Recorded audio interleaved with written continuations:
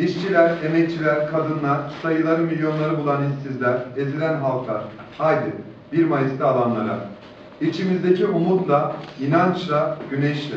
Eşitlik, özgürlük, barış ve demokrasi için, herkesin eşit ve kendi rengiyle yaşayacağı bir ülke için, işçiler, emekçiler, iş cinayetlerine, kıdem tazminatının gaspına ve taşeronlaşmaya dur demek için, asgari ücretin insanca ve yaşanılır bir seviyeye çıkarılması için, üreticiler, köylüler, dişiyle tırnağıyla geçinenler, emeğimizin karşılığını dile getirmek için 1 Mayıs'ta alanlara, gençler, eğitimin ve sağlığın ticarileştirilmesine dur demek için, bu ülkenin dağlarında, parklarında, sokaklarında çocuk yaşta yaşamını yitiren Berkinler, Uğurlar, Ceylanları haykırmak için 1 Mayıs'ta saat 12'de 1 Mayıs meydanında buluşalım.